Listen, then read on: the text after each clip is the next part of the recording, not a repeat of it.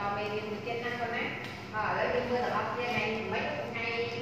សប្តាហ៍យើងរៀនអំពីការបូកចំនួនរូបធាតុដោយគ្មានត្រាទុកឥឡូវយើងរៀនចំនួនរូបធាតុធាតុ10ដោយមានត្រាទុកកុសលតិច7 2.6គីឡូក្រាមនិងស្វ័យ1.7គីឡូក្រាម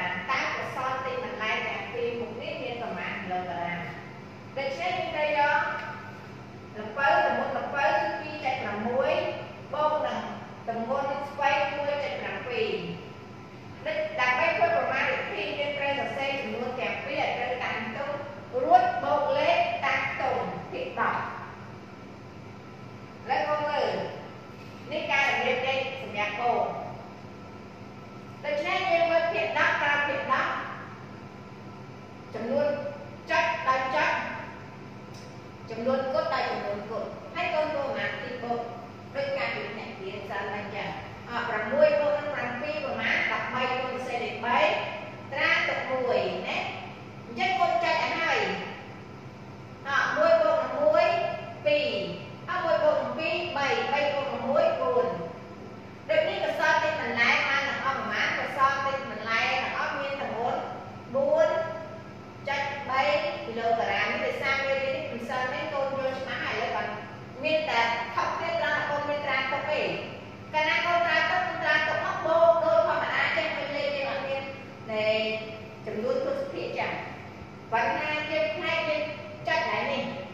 그래서 그냥 짧고 방패겠어?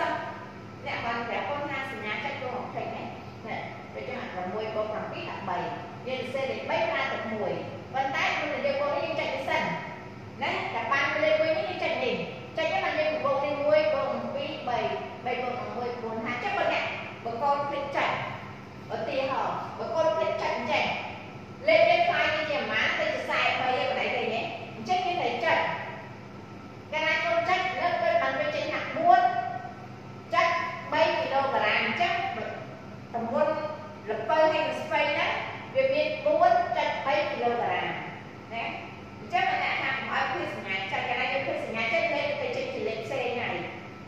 ចំនួនគុណភាពគឺសំខាន់ទៅលើលេខហ្នឹង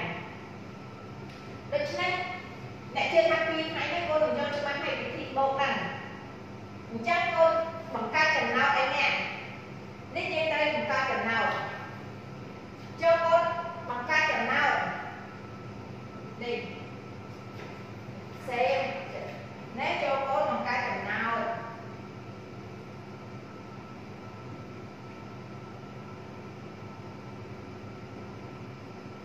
ចូលគោលក្នុងការចំណត់ដែលមានល្បាំងលេខ